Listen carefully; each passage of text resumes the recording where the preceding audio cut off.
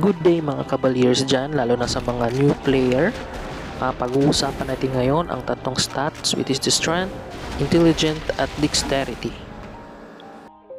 Meron tayong tatlong stats na available para gastusin sa ating mga points. Ito ay ang strength, intelligent,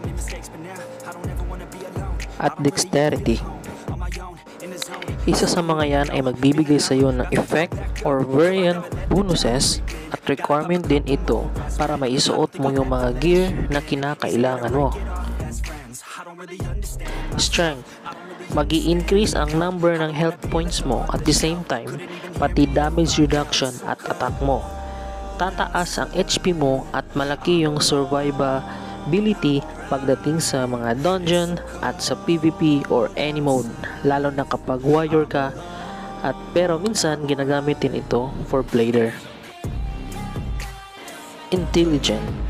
Increasing your magical attack at the same time ang resistance mo din. Ang resistance niya guys ay nagre-resist niya ang uh, critical rate or damage down or stun at penetration ng effect skill ng kalaban. I believe na effective din ito sa mga uh, mobs or boss.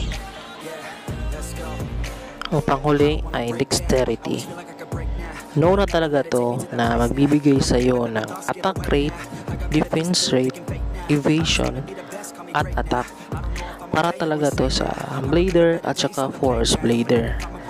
Malaki ang chance na hindi magmi-miss or magpo-block yung mga skills mo sa kalaban lalo na sa mga boss at mga maps kapag naghahunt ka ng mga items.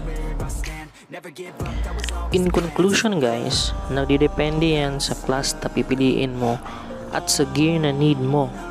Kung bago ka pa lang, I suggest na huwag ka muna magpo-full stats every level mo mag-stats ka na lang kapag meron kang susuotin na item for uh, leveling. Para pag max ka na di ka na, mum- na mumoblema sa minus stats points. And make it sure na rin na tama talaga yung pag-add ng points mo.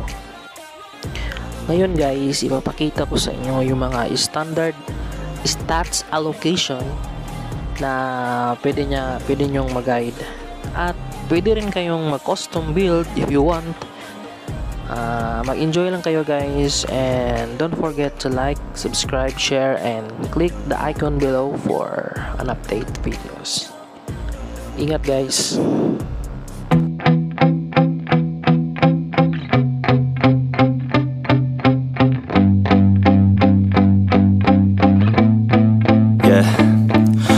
Steady I feel ready, but my legs heavy I don't get it, how come I haven't hit it already? Still working, I'm still learning I'm still searching, finally earning Something finally turning, something called a profit. If I hear you talking shit, don't get caught in it. I'll be popping off and hit your ass Dropping all your shit, yeah I promise this I got promises, you ain't stopping this. Cross my shit, you'll be knocked unconscious bitch. That's the consequence, I got this I will not quit, man I'm on it Honest, I'm gon' launch quick Then I'm gone, it's just a matter of time Before I'm over the climb And moving under my prime. Just quit my 9 to 5 I'm rocking, they watching Cause it's shocking. Dropping all these top 10 songs So stopping. It's time to live my life It's time to live, not die. Wish I could slow down time And just enjoy the climb.